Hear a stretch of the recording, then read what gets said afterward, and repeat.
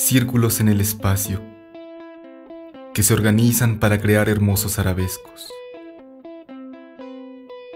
Para comprender mejor la esfera de dimensión 3 en el espacio de dimensión 4, voy a mostrarles cómo llenar el espacio con círculos y formar así lo que los matemáticos llaman una fibración.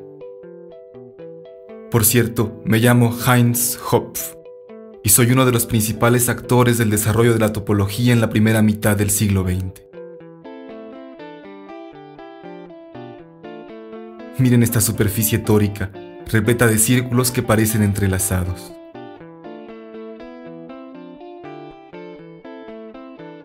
Voy a explicarles esta figura.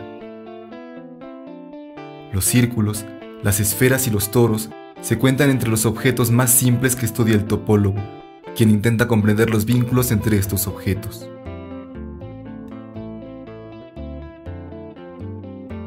Trabajé en Berlín, Princeton y Zurich, y mi nombre aún aparece con frecuencia en las matemáticas de hoy. Teorema de Poincaré-Hopf, invariante de Hopf, álgebra de Hopf, fibración de Hopf. He aquí mi retrato publiqué el descubrimiento de mi fibración en 1931.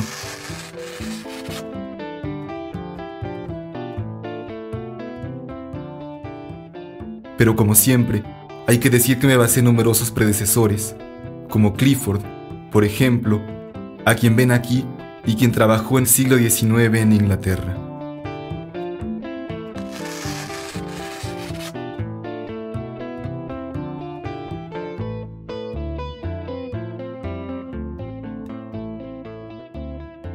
Comencemos por unas explicaciones en el pizarrón, blanco esta vez. ¿Qué ven? Un plano de dimensión 2, me dirán. Pues bien, sí y no.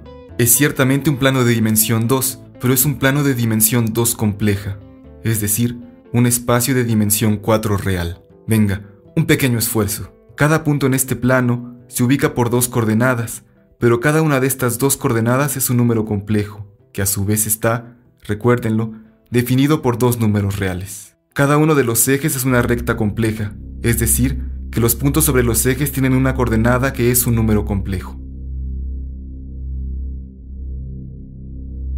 Ven aquí, por ejemplo, el punto 2 menos i sobre el primer eje.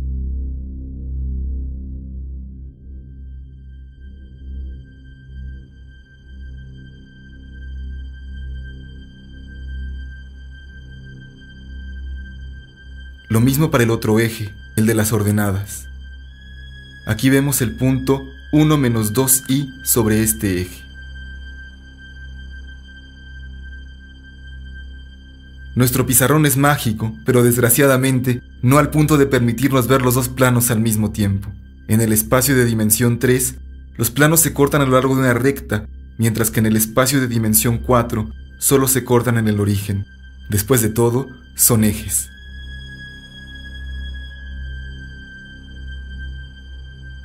¿Qué ven ahora? ¿El círculo? Sí y no. Lo que ven, o más bien lo que deben imaginar, es el conjunto de puntos del espacio de dimensión 4 que están a una unidad de distancia del origen. Dicho de otra manera, no es ni más ni menos que la esfera S3. Bueno, por supuesto, hace falta un poco de imaginación.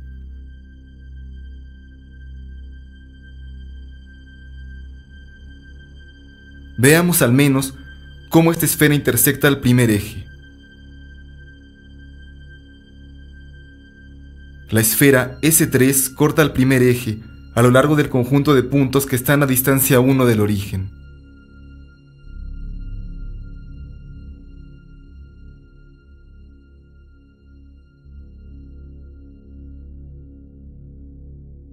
¿Lo ven?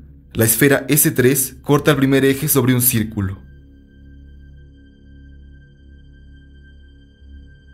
Lo mismo es cierto para el segundo eje, que corta igualmente a la esfera S3 a lo largo de un círculo, representado en azul. Pero, en fin, Lo que es cierto para la recta horizontal y la recta vertical, también es cierto para las otras rectas que pasan por el origen.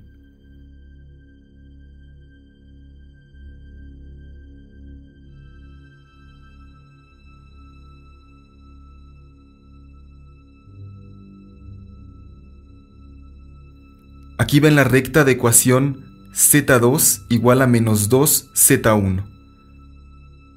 Pero podríamos hacer lo mismo con todas las rectas z2 igual a a z1 para cualquier número complejo a. Así pues, la esfera unidad S3 en el espacio de dimensión 4 está llena de círculos, uno por cada recta compleja que pasa por el origen en nuestro plano de dimensión compleja 2. Atención, en la imagen tenemos la impresión de que los círculos rojos se cortan, pero no es esto lo que ocurre en la realidad de dimensión 4. Las rectas solo se cortan en el origen y luego sus intersecciones con la esfera unidad no se intersectan para nada. Esta descomposición de la esfera en círculos fui yo quien la descubrió. Y desde entonces se llama la fibración de Hopf. ¿Por qué fibración? Porque hay que pensar un poco en las fibras de un tejido. Observaremos esto a través de la proyección estereográfica. Imaginen, pues, que proyectamos la esfera S3 desde su polo norte en el espacio tangente en su polo sur, que es nuestro espacio de dimensión 3. Aquí está la proyección de uno de esos círculos, que se obtiene, como lo vimos, tomando la intersección de una recta compleja y de la esfera unidad S3.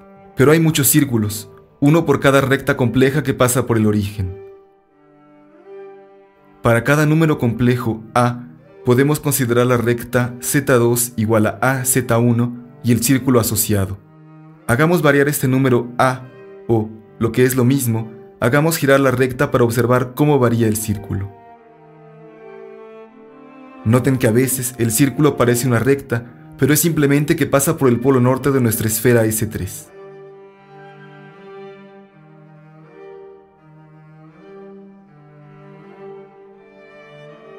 Abajo, a la izquierda, tenemos dos números complejos móviles A en rojo y verde.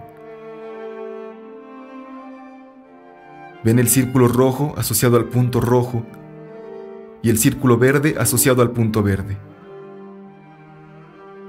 Ven que dos círculos cualesquiera están enlazados como dos eslabones en una cadena. Es imposible separarlos sin romperlos.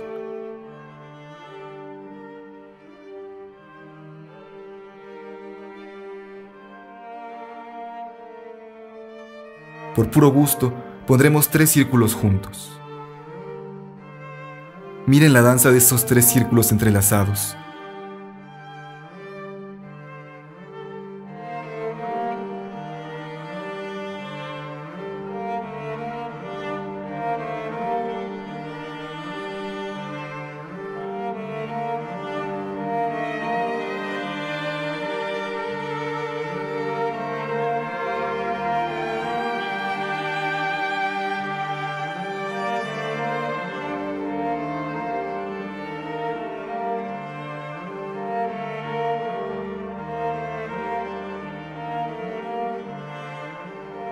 Vamos, tomemos muchas rectas complejas un poco al azar y observemos todos esos círculos al mismo tiempo, solo para ver.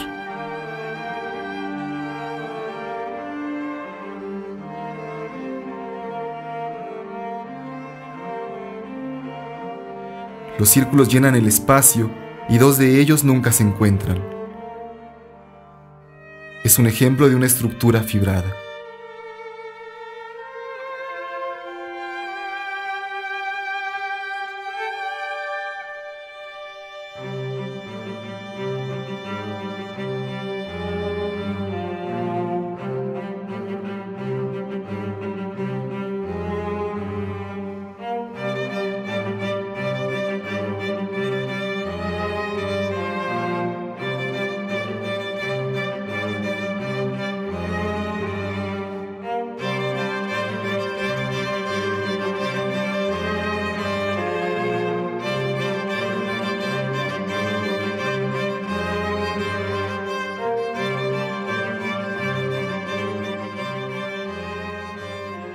Intentemos ver más claramente y regresamos por un momento al pizarrón.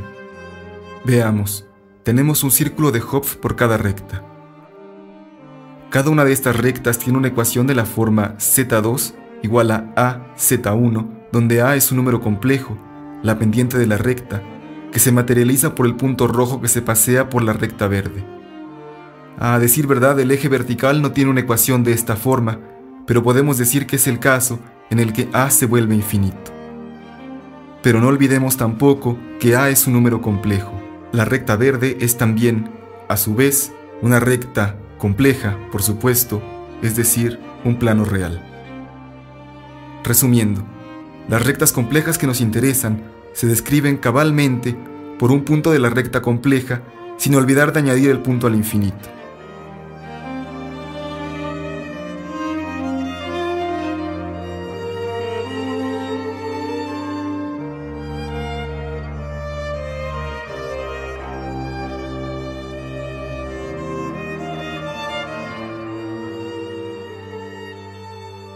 Pero ya hemos visto que si añadimos un punto al infinito a la recta compleja, obtenemos la esfera S2 de costumbre. Es, una vez más, la proyección estereográfica.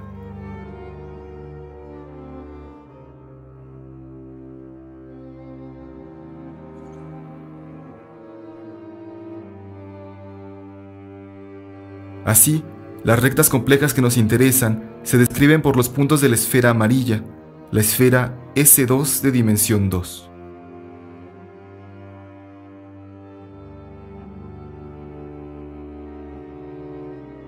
Para cada punto de S2 tenemos pues un círculo.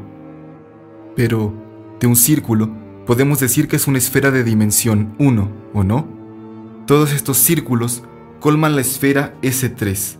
Cada punto de S3 pertenece a solo uno de esos círculos y define así un punto de S2.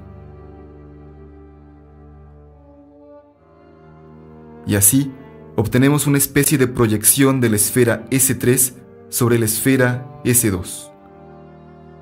Complicado, ¿no? El matemático dice que sobre cada punto de la base S2 hay una fibra que es un círculo S1 y que el espacio total de la fibración es la esfera S3. Estoy muy orgulloso de mi fibración y pensar que se volvió un objeto fundamental en topología.